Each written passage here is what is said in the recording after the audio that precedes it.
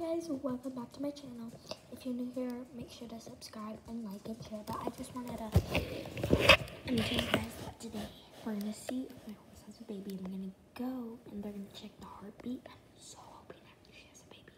And if she does, because my horse is named Money, the one that I think is gonna have a baby.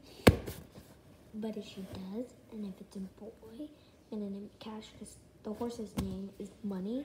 So I'm gonna name it Cash if it's a boy, and if it's a girl, Penny.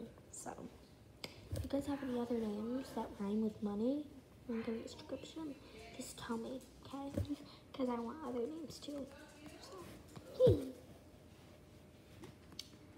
But make sure to subscribe and like and share. Bye. Have a good day.